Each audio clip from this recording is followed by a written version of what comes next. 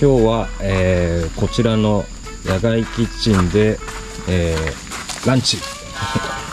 ランチというか、まあ、また鍋なんですけど、えー作って、えーもらいたいと思います。頑張ります。でこちらのキッチンなんですけれども、まあ、ここがコンロでここでまあ野菜などを切っていただく形。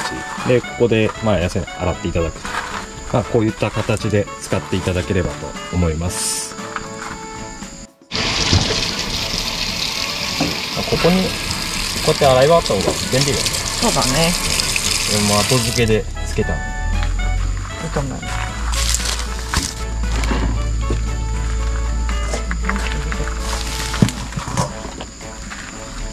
お鍋がちっちゃいからちょっとちっちゃめに切る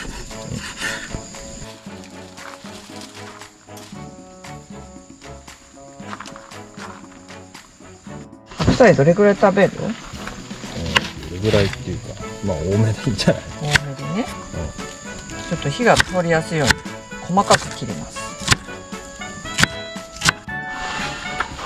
材料が切り終わりました。今日はまあいつも一緒ですね。この赤からで鍋です。あと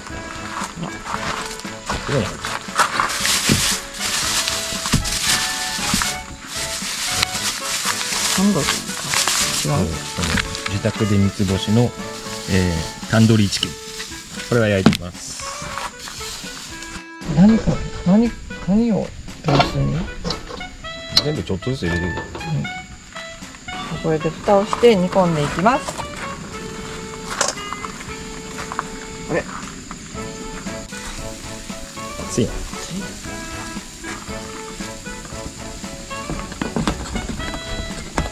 答え方どうすればいいの先にあ美味しそう。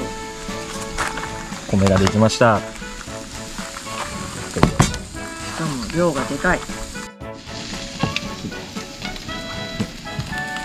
かし量がすごいね。うん。2合。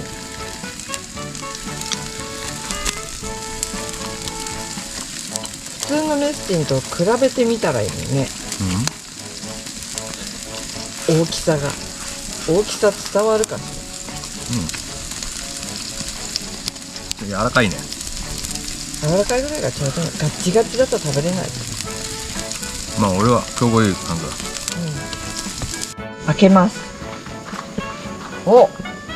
熱い。いいんじゃないでしょうか。具だくさんですね。熱々。なんか雨降りそうだけど。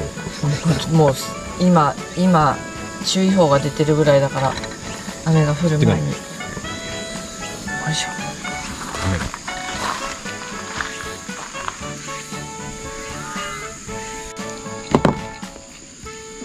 でも料理しないからさ。うん。料理しないしねこれが好きだから 毎回一緒なんだ。食べるのが。違うものを作ってみたらどうかね。何もやらないよキキャンプ飯。キャンプ飯ね。キャンプ飯って凝ってるよね。まあ見栄えを良くするようにとかじゃないみんな見てるとおしゃれだもん。うちそういうのできないタイプじ雨だ雨ゃん早くでひなひな。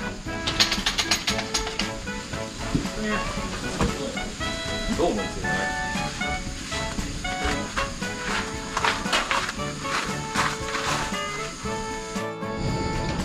雨だからこっちでやってます。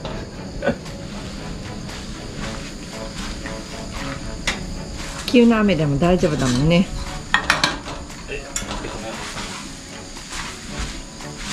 よいしょ。特等席。本当だ。3時にさう原岡にレンタルボードのあの返却が回収に行ってくるからさんうん。ついでにな入りゃいいじゃん。ぬるいし。海？えうえ入れないか。入んの？まあでもこういうのあったらさうん。うん災害とかそういう時もまあこれじゃなくてあのあ丸くんでもいいんだけど。